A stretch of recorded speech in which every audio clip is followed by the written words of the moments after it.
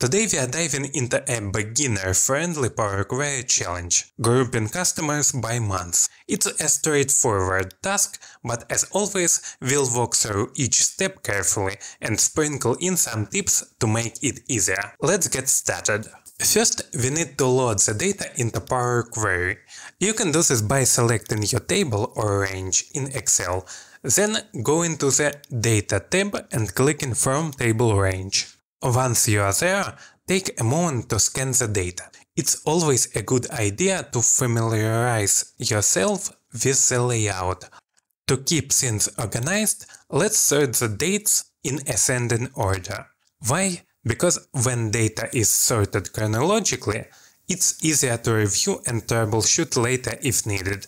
Now we want to transform the dates into month names. This helps us group the data by months, instead of dealing with individual dates. Here's how. Right-click on the dates column, go to Transform, Month, Name of month. Power Query will automatically convert the dates into full month names, like January, February and so on.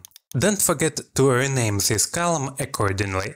Keeping column names descriptive and simple is a lifesaver when working with larger datasets. Now comes the fun part – grouping.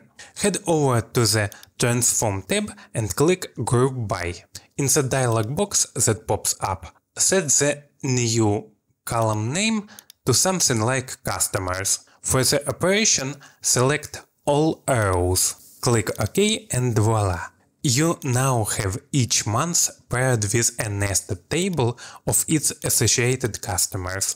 This is where Power Query starts showing its magic. At this point, each month has a mini table inside it. But we only want the names of the customers, not the entire table. Let's fix that.